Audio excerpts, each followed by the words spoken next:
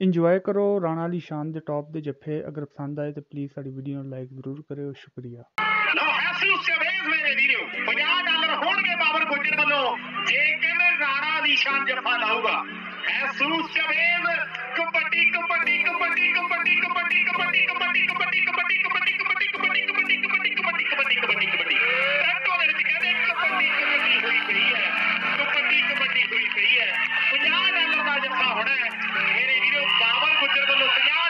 ਕਮਾਲ ਜਿਹਾ ਹੋ ਗਿਆ।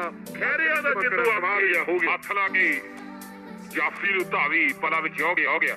ਵਿੱਕੀ ਸ਼ਮੀਪੁਰ ਤੇ ਤਾਰੀ ਸੰਝ ਤੇ ਵਾਲਾ ਇਧਰ ਰਾਣਾ ਅਲੀ ਸ਼ਾਨ ਤੇ ਹਸੂਸ ਦੀ ਪਈ ਹੋਈ ਕਬੱਡੀ ਤੇ ਪਰ ਲੱਕ ਲੱਗ ਰਿਹਾ ਮੇਰੇ ਵੀਰੋ।